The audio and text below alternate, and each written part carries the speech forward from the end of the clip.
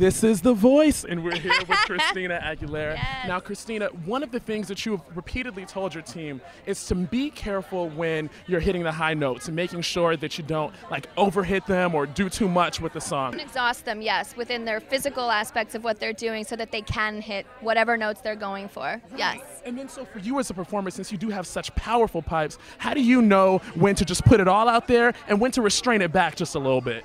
You know, I told them it's a matter of rehearsals. I shared with them my own experiences of uh, my own Grammy performances or tour experiences and running out of breath being, you know, that's something that, you know, Raquel is a performer, she's got extra work on, on her plate because of, you know, the dancing and everything involved. And each one of them has their own individual strengths and things that they need to work on. And it's just been wonderful sharing with them my own experiences of being on stage. I can't give you the secret. You got to be on my team to get the goods.